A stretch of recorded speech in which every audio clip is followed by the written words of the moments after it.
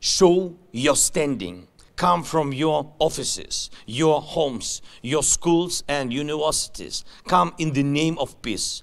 Come with Ukrainian symbols to support Ukraine, to support freedom, to support life.